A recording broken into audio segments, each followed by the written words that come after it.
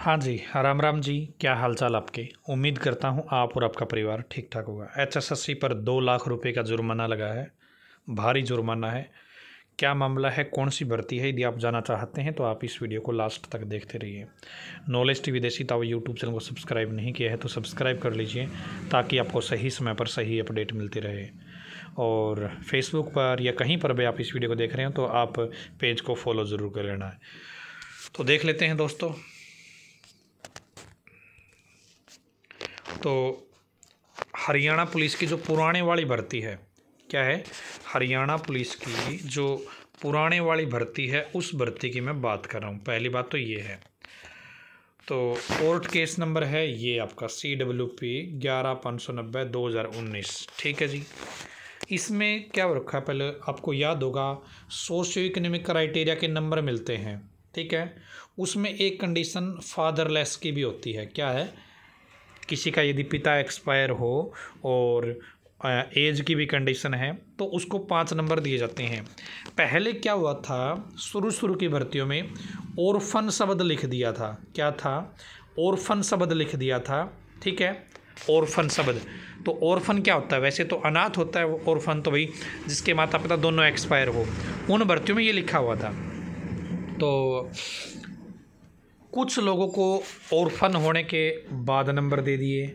कुछ लोगों को एक कंडीशन पे भी नंबर दे दिए। भाई, किसी का एक मतलब सिर्फ़ पापा एक्सपायर थे तो उसको भी नंबर दे दिए।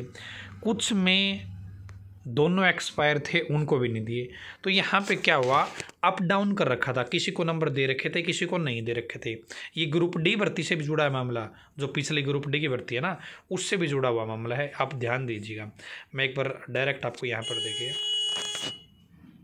ये देखिए।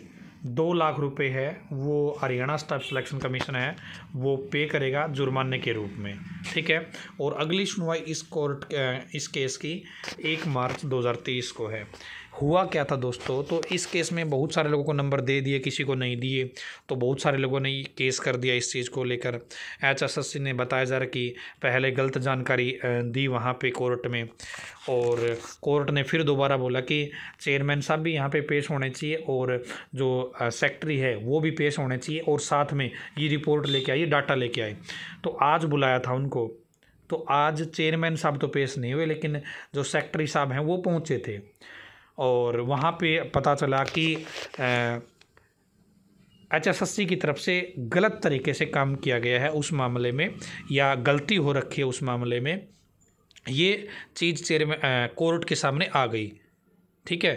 तो chairman H S S C ने ये बोला है कोर्ट ने ये बोल दिया कि भाई एच एस पर दो लाख रुपए का जुर्माना है और अगली तार सुनवाई एक मार्च को होगी। एक मार्च को चेयरमैन साहब भी यहाँ पे आए, सचिव साहब भी यहाँ पे आए और ढंग से अपना ये जो है, अपना जो भी कहना चाहते हैं वो कहें इस बारे में। ठीक है? तो ये मामला है फादरलेस वाले जो बच्चे हैं, स्पेशली उनके लिए।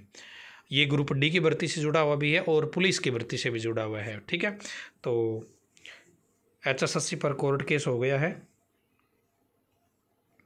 और यहाँ पे एक चीज़ और हो सकती है भाई, जो मेल कांस्टेबल है। यदि कुछ भी दिक्कत हुई तो हो सकता है जो मेल कांस्टेबल बच्चे हैं जिन्होंने ऑलरेडी ज्वाइनिंग कर रखी है तो उनको समस्या क्या पता, जो इस मामले से जुड़े हुए हैं, इस मामले से जुड़े हुए हैं तो हो सकता है एच एस एस की गलती, इनको भी भुगतनी पड़ जाए।